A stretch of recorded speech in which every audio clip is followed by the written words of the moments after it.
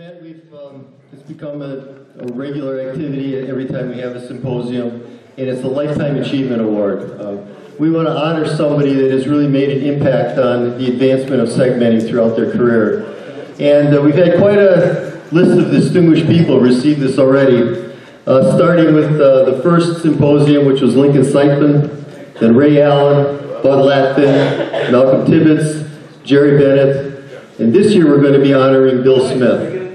Um, unfortunately, Bill couldn't be here tonight, but uh, Joe Seltzer, a good friend of his, is going to give uh, uh, receive the award for him. And uh, Curt Theobald, I'm going to, if Curt, if you could come up, uh, he is going to give the presentation.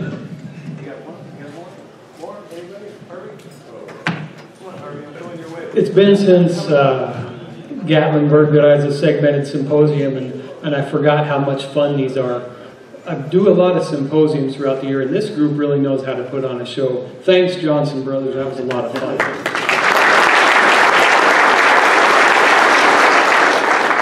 It's my privilege to introduce uh, Bill Smith as the honorary lifetime member for this symposium.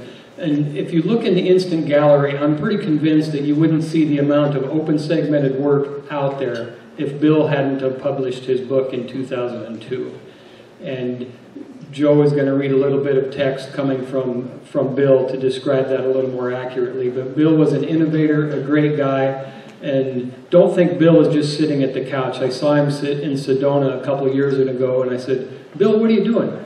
Well, I'm, I'm messing around making telescopes. And he showed me this telescope that was, the case was intricately designed as his open segmented work with an 18 inch mirror. So he's not messing around and flying remote controlled airplanes and competitively handgun shooting and reloading his own ammunition. So Bill is, I talked with him and he said, please let everyone know that I'm sorry that I can't be there. I just don't travel that much anymore, but he's honored to receive that this award, so just be aware of that. I've got a PowerPoint of images that Bill sent to me, and, and just look at these images and the intricacy, and they're not in any order specifically, but they're just amazing open segmented works.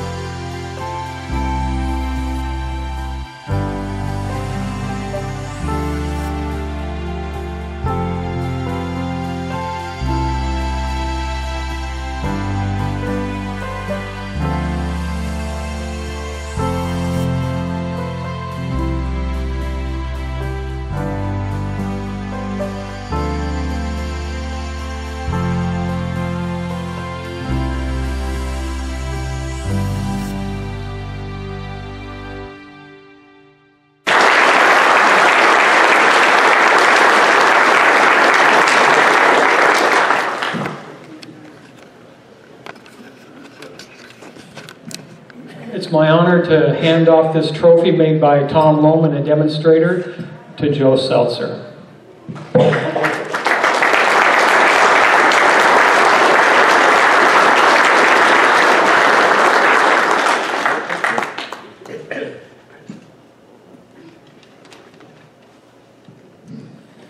Uh, Bill's a good friend.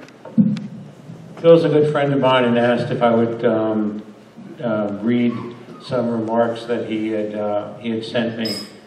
Um, To the members of the segmented woodturners, please accept my sincere thanks for- as this award will always have a dear place in my heart.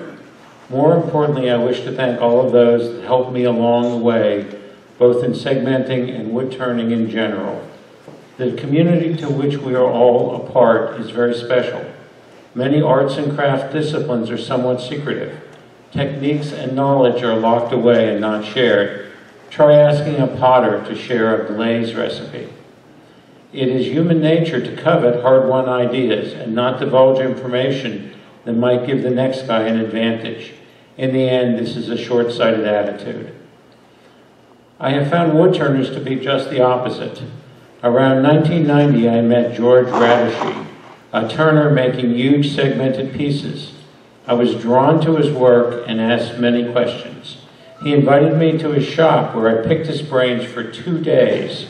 He held nothing back, showing me every trick, technique, formula, and shortcut. So informative was his guidance that I was creating large segmented pieces within a week. As I got further into wood turning, I found this attitude of sharing every way, everywhere I looked. About the same time, I joined the local wood turning club. There I met the person presenting these words, Joe Seltzer, turner an avid collector of small, intricate work.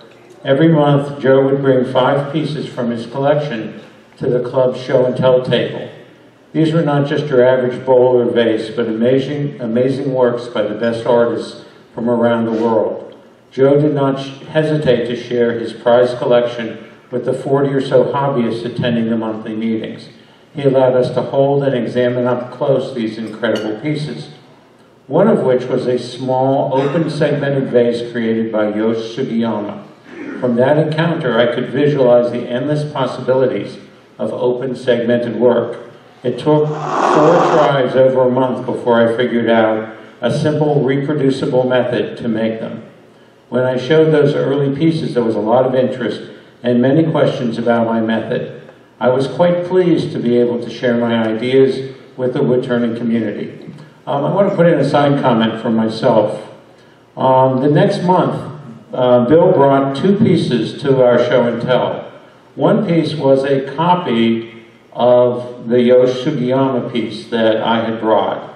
He had figured out how to make that piece using a technique which um, you have read about in his book.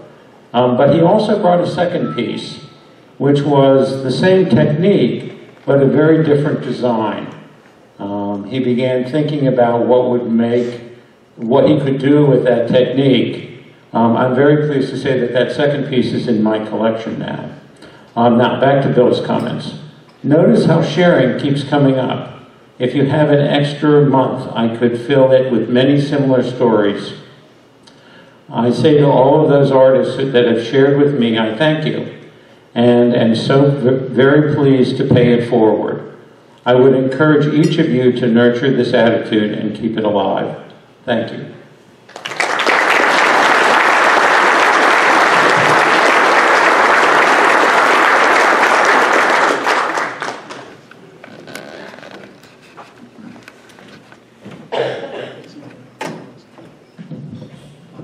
Thanks, Joe, and thanks, Curt, for that uh, wonderful tribute. I also want to give a special thanks to uh, Tom Lohman, who put in and uh, volunteered many, many hours to make this fantastic piece. So thanks.